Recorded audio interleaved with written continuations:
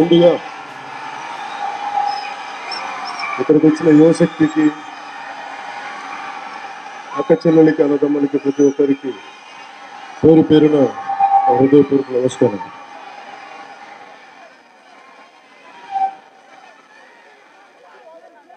అలాగే చేనేత సాధికారత సంఘం అధ్యక్షులు కేఎన్ మూర్తి గారికి మిగతా పెద్దలందరికీ పేరు పేరున ప్రతి ఒక్కరికి నా హృదయపూర్వక నమస్కారం.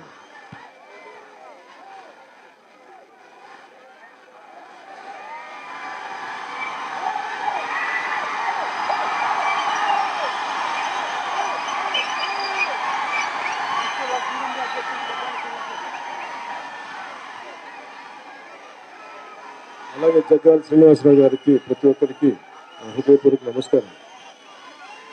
అందరినీ దయచేసి పేరు పేరున ఇక్కడున్న పెద్దలందరికీ పేరు పేరున నేను సమయం లేనందుని ప్రతి ఒక్కరికి చెప్పలేకపోతే దయచేసి ప్రతి ఒక్కరిని మనస్ఫూర్తిగా నాకు మీ అందరికీ పేరు పేరు నాకు రేపటి నమస్కారాలు గౌరవాలు తెలియజేసుకుంటాను ఎవరైనా సత్యాగ్రహం సత్యాగ్రహం చేశారంటే దానికి అర్థం ఆగ్రహం అంటే కోపం. సత్యం అంటే నిజం. నిజం తాలూకు కోపం. నాకు అన్నం పెట్టే రైతన్నా పట్టను వేసే నేతన్నా సరిహద్దుల్ని కాపలా కాసే జవాన్ అన్నా నాకు అమితమైన గౌరవం.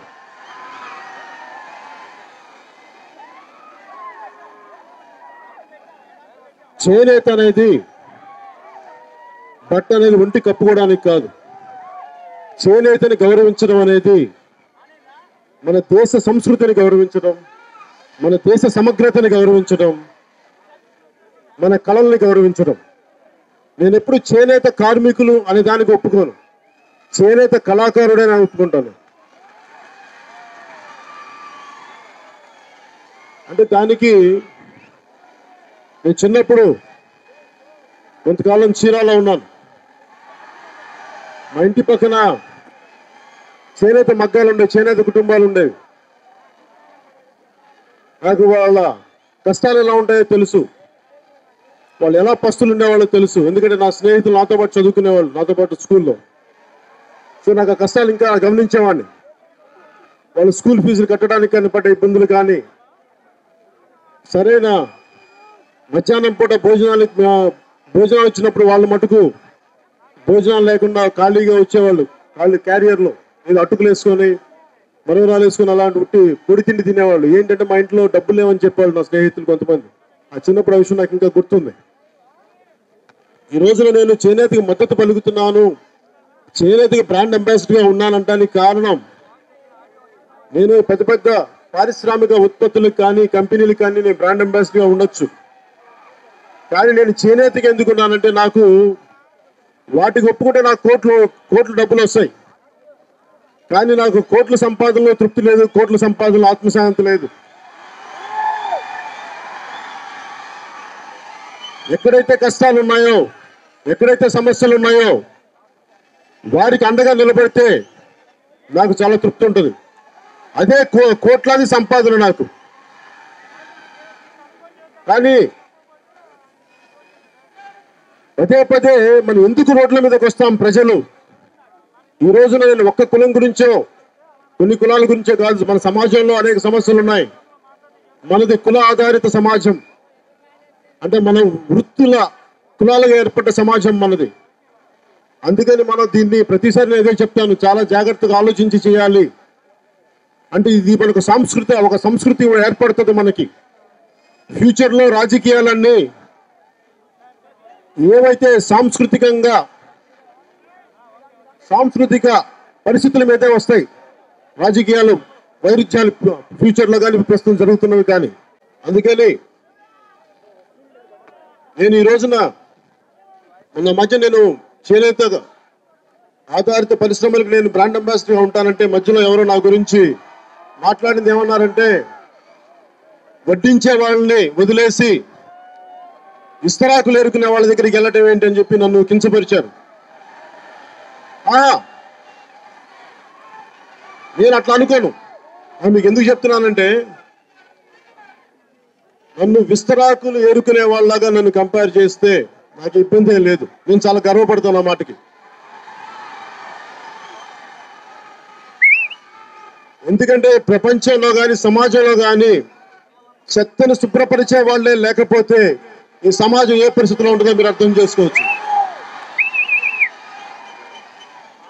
నన్ను ఎంగిలాకులు తీసుకునే వాళ్ళు అన్నా కానీ నన్ను ఎలాంటి పరిస్థితులకి నన్ను అన్నా కానీ నేను చాలా గర్వంగా తీసుకుంటాను. ఎందుకంటే అట్లీస్ట్ నాకు భగవంతుడు శుభ్రపరిచే పని ఇచ్చాడు. అందుకు నీకు తల ఉంచుతున్నాను ఆ భగవంతుడికి.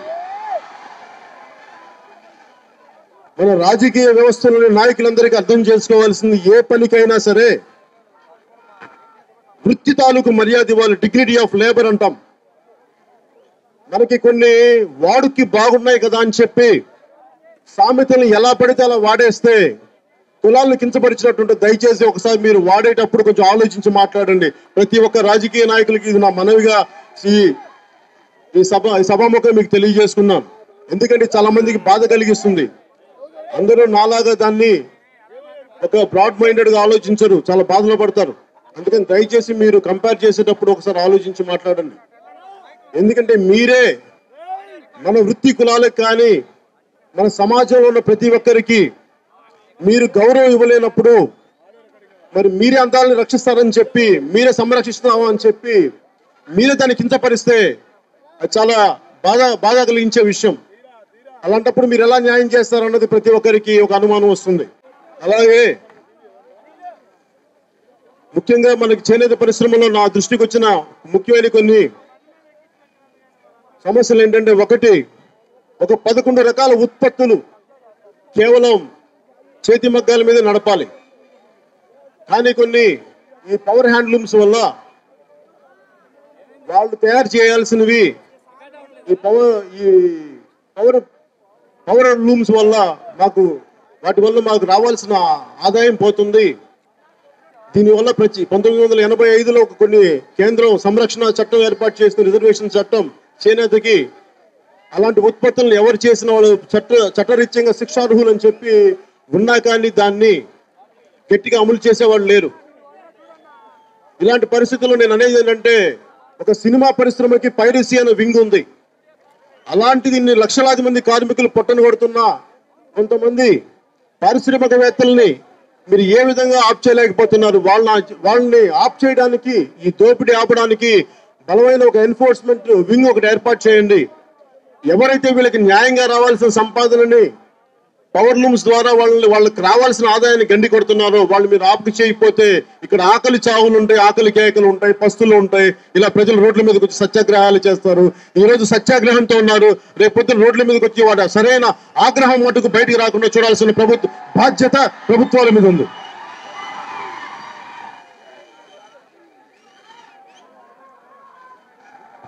అలాగే నాకు బాధ కలిగించిన విషయం చేతిలో కళ ఉండి పస్తులు ఉండటం చాలా బాధ కలిగించే విషయం మన సమాజంలో. రెండు వేలకు పైగా గత ఎనిమిది సంవత్సరాల ఆకలి చావులు చేనేత కార్మికుల ఆకలి చావులు. అలాగే అత్యంత కళా నైపుణ్యతను వదులుకొని మామూలు పనులకు వెళ్ళిపోవాల్సి వస్తుంది పుణ్యాలు చేసుకోవాల్సి వస్తుంది. ఎందుకంటే వాళ్ళు పది మందికి జీవనోపాధి కల్పించే వృత్తి నైపుణ్యత ఉన్నవాళ్ళు చేనేత కుటుంబాలు. మరి అలాంటిది వాళ్ళని తీసుకెళ్ళి మనం మామూలు ఉద్యోగాలకు పెట్టేసి వాళ్ళకి వాళ్ళకి చాలీ చాలని ఉద్యోగాలతో బతకడం వల్ల చాలా ఇబ్బంది కలుగుతుంది. అందుకని వాళ్ళకి అండగా నిలబ నిలబడాల్సిన ప్రభుత్వం మీద ఉంది. అంటే ఈ రోజున ప్రభుత్వాలు ఏదైనా చెప్తే ముందు మేము అన్ని చేసేస్తామని చెప్పి రకరకాలుగా ఈరోజు నిన్న కానీ మొన్న కానీ తెలుగుదేశం ప్రభుత్వం కానీ అటు తెలంగాణ ప్రభుత్వం కానీ చేనేత కార్మికులు అండగా నిలబడ్డా నిలబడతామని చెప్పి రకరకాల సంకేతాలు ఇచ్చారు రకరకాలు చేశారు. కానీ ఇళ్ళలగ్గానే పండగ కాదన్న సంగతి మటుకు గుర్తుపెట్టుకోవాలి. ఏ మాట అయితే చెప్పారో అవి ఎంత ప్రాక్టికల్గా రూపుదాలుస్తాయి అనేది వాళ్ళ చిత్తశుద్ధి మీద ఆధారపడి ఉంటుంది. అలాగే నేను చేనేత ఆధారిత కుటుంబాలకి నేను చెప్పదలుచుకుంది ఏంటంటే సంఘాలకు కూడా ప్రభుత్వాలు చెప్పినా కానీ దయచేసి వాళ్ళు సహృదయతో స్వీకరించండి. అలాగే వారు ఎంతవరకు ముందుకు తీసుకెళ్తారు అన్నది ఒక మానిటరింగ్ ఏజెన్సీని మీరు పెట్టండి ఒక మానిటరింగ్ కమిటీని. ఆ మానిటరింగ్ కమిటీని పెట్టడం వల్ల మీకు వాళ్ళు చెప్పిన ప్రామిస్లు కానీ ఏవైతే ప్రామిస్ చేశారో ఎంతవరకు ముందుకు తీసుకెళ్ళగలిగారో మీరు దాన్ని బట్టి తిరిగి వాళ్ళని ప్రశ్నించడానికి అది అవకాశం ఉంటుంది. లేదంటే మళ్ళీ మన మీరు కామ్గా ఉన్నా కానీ మానిటరింగ్ కమిటీ లేకపోతే మళ్ళీ కార్మికులకి చే- చేనేత కళాకారులకి అన్యాయం చేసిన వాళ్ళం అవుతాం. అందుకని ఈ చే- ఈ చేనేత సంఘం పెద్దలందరికీ నేను చెప్పేది ఒక దయచేసి ఒక మానిటరింగ్ కమిటీని ఏర్పాటు చేయండి. ప్రభుత్వాలు ఇచ్చిన ప్రామిసుల్ని ఎంతవరకు వీళ్ళు నిలబెడతారు ఎంతవరకు ముందుకు తీసుకెళ్తారు అన్న దృష్టిగా చూడాల్సిందిగా నేను కోరుకున్నాను అలాగే ఇప్పుడు ఇందాక నేను వస్తున్నప్పుడు నలుగురు చీరను ఎలా నేయటం మంగళగిరి చీరను ఎలా నేయటం అలాగే వాడికి ఆ మనకి ఈ పట్టు కరెక్ట్ చీర అంచుల్ని ఎలా ఎలా నేసి ఎంత కష్టం ఉంది అనేది నేను ఇప్పుడు చూశాను. అంతకుముందు తెలిసినా కానీ ఈరోజు చూపించారు అంటే ఇది ఒక కళకు సంబంధించింది. ఎక్కడో మనకి ఒక క్రికెట్ కళాకారుడికి మనం బోళ్ళంత నగదు ప్రోత్సాహకాలు ఇస్తాం. ఒక టెన్నిస్ కళాకారులకి బోళ్ళంత నగదు ప్రోత్సాహకాలు ఇస్తాం. అలాగే ఇలాంటి గొప్ప కళాకారులు ఎందుకంటే మన ఒంటి మీద మన అందాన్ని ఇన్నుబడింపు చేసే కళ ఉన్న చేనేత కార్మికులకి చేనేత కళాకారులకి వారికి వ్యక్తిగతమైన కళా నైపుణ్యాన్ని ప్రోత్సహించేలాగా నగదు మెరుగు ప్రోత్సాహకాలు ఇస్తే బాగుంటుందని మనస్ఫూర్తిగా కోరుకుంటున్నాం. దీనివల్ల ఏమవుతుందంటే ఒక క్రికెట్ కళాకారుడు చాలా అద్భుతమైన ప్రతిభ పాట వాళ్ళు చూపించినప్పుడు అందరికీ ఉత్సాహం ఎలా కలుగుతుంది ఎంత ప్రోత్సాహం ఎలా కలుగుద్దో ఒక సరైన చేనేత కళాకారుడికి అలాంటి నగదు ప్రోత్సాహం ఇస్తే అది పది మందికి ఉపయోగపడుతుంది పది మందికి ఇంకా మనం దీన్ని ముందుకు తీసుకెళ్ళొచ్చు అన్న ఆలోచన విధానం వస్తుంది బయటికి. అందుకని దయచేసి ప్రభుత్వాలు ఈ రీతిని ఆలోచించవలసింది నేను మనస్ఫూర్తిగా కోరుకుంటున్నాను. అలాగే నేను మీ ఉత్సాహాన్ని నేను అర్థం చేసుకోగలను కానీ నేను ఈ సందర్భంగా నేను మీకు చెప్పదలుచుకుంది ఏంటంటే నేను రాజకీయాల్లోకి అధికారం ఆశించి రాలేదు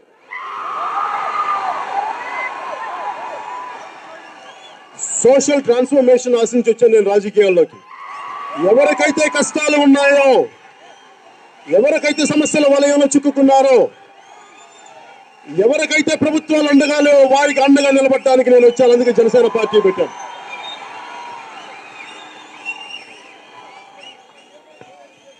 దానికి కారణం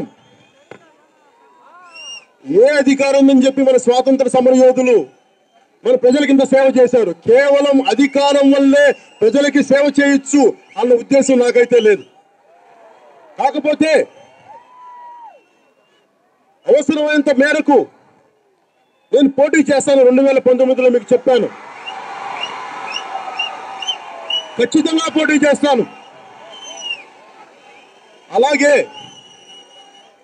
ఏ బలహీన గొంతు ఏ చేనేత కళాకారుల గొంతు ముందుకెళ్ళట్లేదు. వారి గొంతు శాసనసభలో వినిపించేలాగా అసెంబ్లీలో వినిపించేలాగా బలమైన గొంతు వినిపించేలాగా వారికి జనసేన పార్టీ అండగా ఉంటుందని మీకు సభాముఖంగా తెలియజేసుకుంటున్నాం. ముఖ్యంగా దేశానికి గుర్తింపు తెచ్చిన మన చేనేత కళని ముఖ్యంగా నేను చెప్పదలుచుకుంది మొన్న నేను వారానికి ఒక రోజు చేనేత కడుతున్నాను ఎప్పటి నుంచో వారానికి అది చాలా రోజులు చేనేత కడుతుంటాను ఎవరు తెలియదు బయటికి.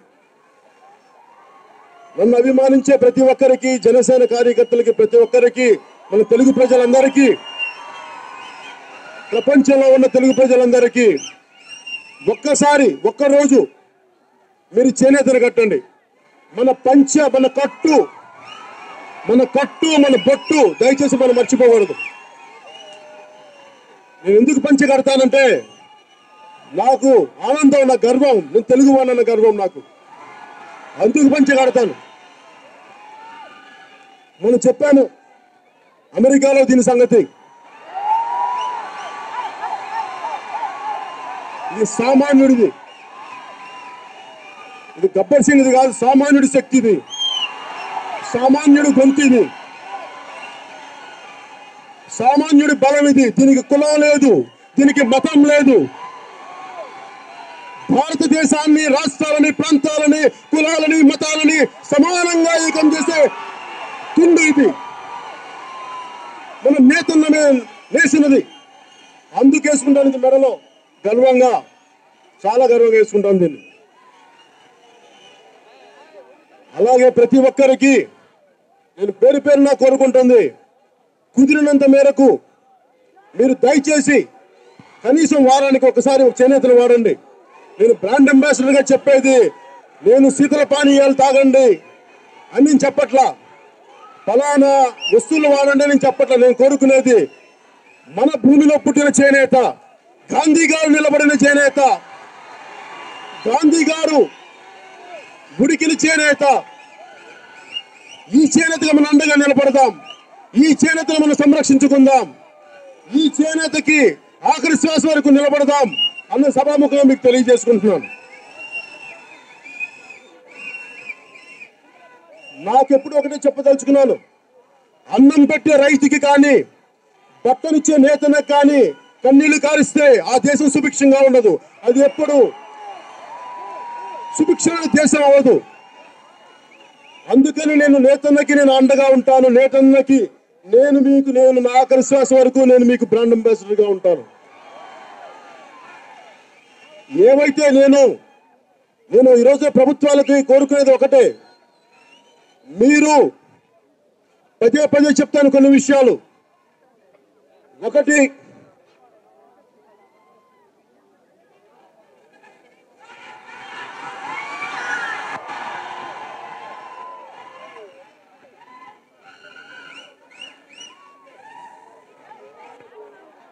అలాగే యువతకి ఈ రోజున చేనేత యువతకి నేను కోరుకుంటుంది ఏంటంటే వాళ్ళకి ఆధునిక నైపుణ్యం జరిగేలాగా ఎడ్యుకేషన్ ఉండాలి. ఫ్యాషన్ కాలేజెస్ ఈ మధ్య నేను అమెరికాకి వెళ్ళినప్పుడు కొంతమంది నేను ఏ రోజునైతే చేనేతకి బ్రాండ్ అంబాసిడర్గా ఉన్నానో చాలా మంది చదువుకున్న వ్యక్తులు తెలుగు వాళ్ళు ఉత్తరాది వాళ్ళు వాళ్ళు వచ్చి నాకు చెప్పింది ఏంటంటే ఇక్కడ మీ ఆంధ్రప్రదేశ్ మీ తెలంగాణ చేనేత సంబంధించి మేము కావాలంటే ఇంటర్నేషనల్ ఫ్యాషన్ హౌసెస్కి మేము నిలబడేలా కొన్ని అనుసంధానం చేస్తాం అని చెప్పి ముందుకు తీసుకెళ్తాం అని గొప్ప గొప్ప ఫ్యాషన్ హౌసెస్ పేర్లు చెప్పారు. అది ఏదైనా జరిగితే వాళ్ళకి చేనేత సంఘాన్ని ముందు పెడతానని నేను మీకు సభాముఖంగా తెలియజేసుకుంటున్నాను.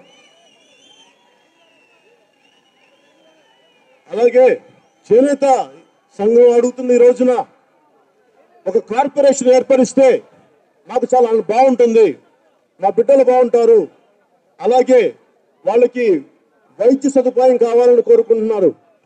మరి ప్రభుత్వాలను అడుగుతున్నప్పుడు వారి రకరకాల ఇప్పటికే కార్పొరేషన్స్ ఉన్నాయి. అయినా ఇంక దేనికి ఇంకోటి అవసరం ఏంటో అడుగుతున్నారు. నేను వారికి తెలియజేసుకునేది ఏంటంటే ఒకవేళ వాటి తీరుతెన్నులు ఎలా ఉన్నాయి ఇప్పుడున్న ప్రెసెంట్ కార్పొరేషన్స్ కానీ ఇప్పుడున్న చేనేతకి తో- తోడ్పాటు అందించే పరిశ్రమలు ఎలా సంఘాలు ఎలా ఉన్నాయి వాటి తీరుతెన్నులు ఎలా ఉన్నాయి ఒకసారి మీరు ఆలోచించుకొని వాళ్ళకి చేనేత సంఘాల వారికి చేనేత కులాల వారికి కళాకారులకి మీరు ఒక కార్పొరేషన్ ఏర్పాటు చేసే దిశగా ఆలోచిస్తే బాగుంటుందని నా మనస్ఫూర్తిగా నేను మీకు తెలియజేసుకుంటున్నాను. అలాగే ఈ మార్చి పద్నాలుగుకి జనసేన ప్రారంభించి మూడో సంవత్సరం అడుగు పెడుతుంది. నేను అడుగు పెట్టే సమయంలో ఇప్పుడు దాకా జనసేన పార్టీని ఎందుకు మీరు నిర్మించట్లేదు? అంటే నిర్మించడం ఏంటి? మీరు అందరూ ఉన్నారు కొత్తగా నిర్మించాల్సిన అవసరం ఏంటి? కావాల్సిన నాయకులే కావాలి మనకు. ఎందుకంటే మీరింత మనస్ఫూర్తిగా నేతనలకు అండగా వచ్చారు ఈ రోజున మీ అందరూ. మీ శక్తిని మీ బలాన్ని మీ యువశక్తిని ముందుకు తీసుకెళ్ళలేను సరైన నాయకులు లేకపోతే నేను ద్రోహం చేసిన వాడిని అవుతాను. మీరు ఎంత చిత్తశుద్ధిగా మీరు ఎంత మనస్ఫూర్తిగా ఉన్నారో జనసేన పార్టీలో నాయకులు అంత చిత్తశుద్ధిగా లేనప్పుడు నేను బయట వాళ్ళని ఎలాగా ఎదిరిస్తానో ఎలా బలంగా కడిగేస్తానో నా సొంత పార్టీ నాయకులను కూడా నేను అలాగే ప్రశ్నిస్తాను. నాకు ప్రజలే ముఖ్యం మీరే ముఖ్యం మీరే నా బలం. మీకు అన్యాయం జరిగితే అది తన కావచ్చు మన కావచ్చు నాకు ఎవరైనా ఒకటే. మీకు అడ్డు వచ్చి ఎవరైనా సరే నేను ఉపేక్షించను తనైనా మనైనా సరే. అందుకని సరైన నాయకులు నాయకుల కోసం ఎదురు చూసే సమయమే కానీ ఎందుకంటే పరీక్షిస్తున్నాను. అందరు నిలబడతారు ఉత్సాహ ఉత్సాహంగా వస్తారు. కానీ ఒక చిన్న ఒక చిన్న ఒక దెబ్బకి ఉండేది దెబ్బకి పారిపోతారు అందరు. పుట్టలా చల్లా అయిపోతారు. నాకు అలాంటి వాళ్ళు కాదు. శతజ్ఞులు ఎదురొచ్చినా యుద్ధ ట్యాంకులు ఎదురొచ్చినా తుపాకులు ఎదురొచ్చినా నిలబడే దమ్మున్న నాయకులు కావాలి నాకు. దమ్మున్న నాయకులు కావాలి. ప్రజా సమస్యల కోసం పోరాడే నాయకులు కావాలి. వాళ్ళ కోసం నేను ఎదురు చూస్తున్నాను. వాళ్ళ కోసం అలాంటి నాయకుల కోసం నేను ఎదురు చూస్తున్నాను. మీలో నుంచే ఎదుర్కొంటాను నాయకుల్ని బయట వాళ్ళ నుంచి కాదు మీలో నుంచే మీలో యువశక్తి నుంచే ఎదుర్కొంటాను నాయకుల్ని. అలాగే ఈరోజు చేనేత కళాకారులు కొన్ని అడిగేది మీ నుంచి నాకు యువరక్తాన్ని పంపించండి జనసేన పార్టీకి. నేను మీ సమస్యల్ని ఎలా ముందుకు తీసుకెళ్ళాలో ఎలా పోరాటం చేయాలో నేను మీకు అండగా ఉంటాను. వారసత్వ రాజకీయాల మీద నాకు వ్యతిరేకత లేదు. కానీ కేవలం వారసత్వ నాయకులంటే నాయకులు వారి నాయకులు నాయకులేనా మిగతా ప్రజలు కాదా అనేది నాకు ఇప్పుడు సందేహం పీడిస్తూ ఉంటుంది. కాకపోతే ఏంటంటే జనసేన పార్టీ నుంచి నేను యువ నాయకుల కోసం చూస్తున్నాను. పోరాట పటిమున్న నాయకుల కోసం ఎదురు చూస్తున్నాను. నిస్వార్థంగా ఉన్న నాయకుల కోసం ఎదురు చూస్తున్నాను. అలాంటి వాళ్ళు ఎప్పుడు వస్తారు బయటికి? ఇంగ్లీష్లో ఒక సామెత చెప్తారు. అడ్వర్సిటీ రివీల్స్ ట్రూ క్యారెక్టర్ అని. ప్రతికూల పరిస్థితుల్లోనే వాళ్ళు ఏంటి వాళ్ళ నైజం ఏంటని బయటపడద్ది. సుఖంగా ఉన్నప్పుడు అందరూ బాగుంటారు. కష్టాలు ఇచ్చినప్పుడే వాళ్ళలో దమ్మెంత వాళ్ళ గుండెల్లో నిజమెంత అని బయటకు వస్తుంది. కష్టాల్లో ఉన్న ఉన్న నాయకుల కోసం నేను వెతుకుతున్నాను. అలాగే మార్చి పద్నాలుగున జనసేన పాలసీల కోసం నేను వెబ్సైట్ స్టార్ట్ చేయబోతున్నాను.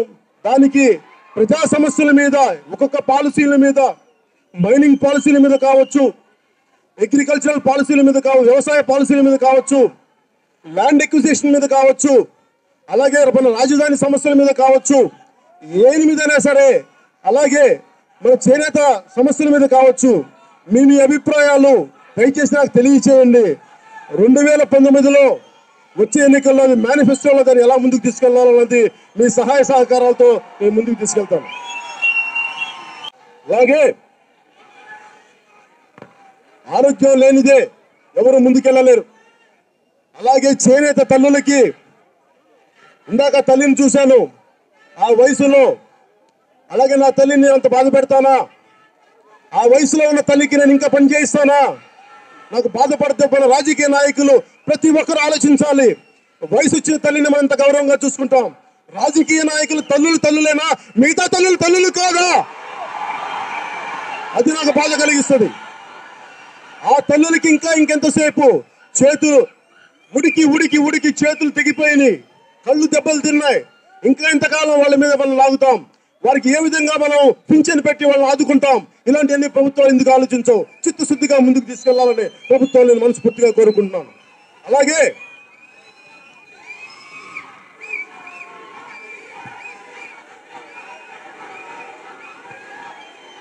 అలాగే ఈ రోజున మీ అందరికీ సభాముఖంగా నేను కోరుకుంటుంది. అలాగే పెద్దలందరూ నేను కోరుకుంటుంది.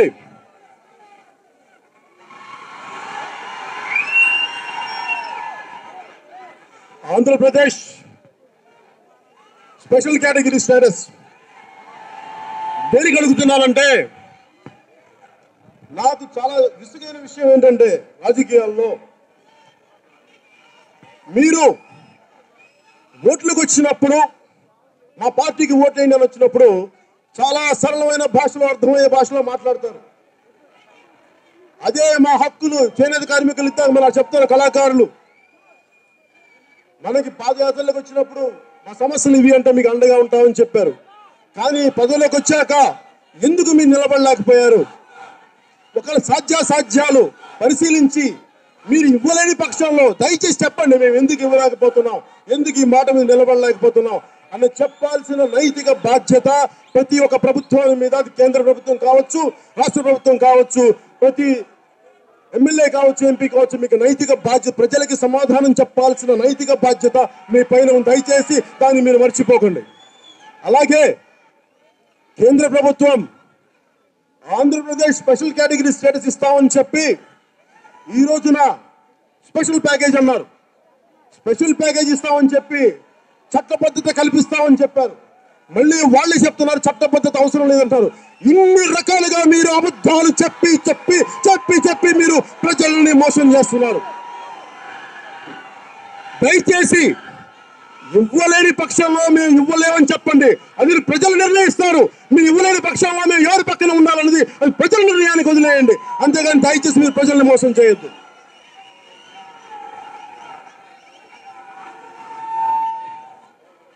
నేను ఈ రోజున నాకు ఒక్కళ్ళు ఓటేసినా కానీ కోట్లాది మంది ఓటేసినా కానీ నేను ఎప్పుడు మీ పక్షమే పోరాటం చేస్తాను. నాకు రాజకీయాలంటే గౌరవం.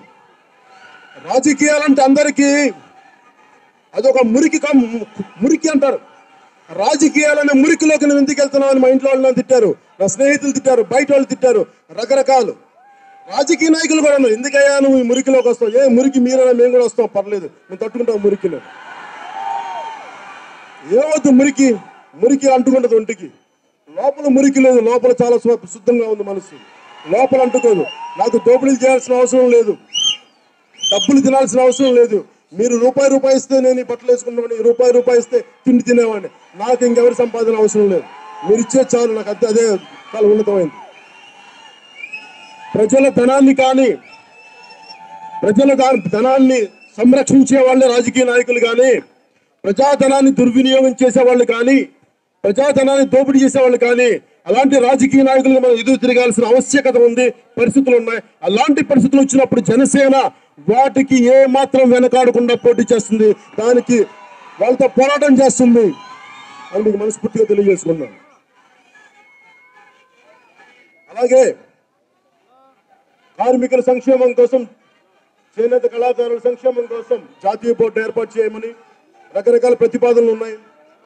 అలాగే మీడియా మిత్రులు మిత్రులు కానీ ప్రతి ఒక్కరికి పేరు పేరున దీన్ని చేనేత సమస్యని ముందుకు తీసుకెళ్ళాల్సిందిగా మనస్ఫూర్తిగా కోరుకుంటూ మీకు ఒక చేనేత వర్గాల వారికే కాదు అలాగే స్వర్ణకారుల కుటుంబాలకు కూడా నేను అండగా ఉంటాను. ఎందుకంటే డిమానిటైజేషన్ వల్ల మీ దెబ్బతిన్నాయి. మీ వ్యాపారాలు దెబ్బతున్నాయి. ఎప్పుడు గొప్ప గొప్ప పెద్ద పెద్దవాళ్ళు పడి బాగా ఉన్నారే ఉన్నారు కానీ చిన్న చిన్న వాళ్ళు దెబ్బతింటున్నారు. అలాంటి వాళ్ళకి మీ మీ ఏమనుంటే మీ మీ మీ సమస్యల్ని ఎలా ఆదుకోవాలి ఎలా ఆలోచించాలని దయచేసి జనసేన దృష్టిలో ఉందని మీకు సభాముఖంగా తెలియజేస్తున్నాను. అలాగే ఇక్కడున్న యువతకి యువశక్తికి అభిమానులకి ప్రతి ఒక్కరికి అరెస్ట్ అయిన స్పెషల్ కేటగిరీ స్టేటస్ కోసం ఫైట్ కోసం పోరాటం చేసి అరెస్ట్ అయిన ప్రతి ఒక్క జనసేన కార్యకర్తకి మనస్ఫూర్తిగా నా అభినందనలు తెలియజేసుకున్నాను అలాగే ఇది చేనేత ఐక్య గర్జన. పద్దెనిమిది కులాలు కలిస్తే కానీ చేనేత చేనేత ముందుకెళ్ళదు. అలాంటి పెద్ద మనసుతోటి అందరూ ముందుకొచ్చి చేనేత ఐక్య గర్జనగా దీన్ని తీసుకెళ్ళిన ప్రతి ఒక్కరికి మూర్తి గారికి ప్రతి ఒక్కరికి పేరు పేరున ధన్యవాదాలు తెలియజేసుకుని సెలవు తీసుకున్నాను ఒకటే మాట ఆఖరి మాట. దేశాన్ని స్థుతించకుండా నేను ఎప్పుడు దిగను ఏ దేశమేగినా హిందుకాలుడినా పొగడరా నీ తల్లి భూమి భారత్ని భారత్ మాతాకి! భారత్ మాతాకి! భారత్ మాతాకి!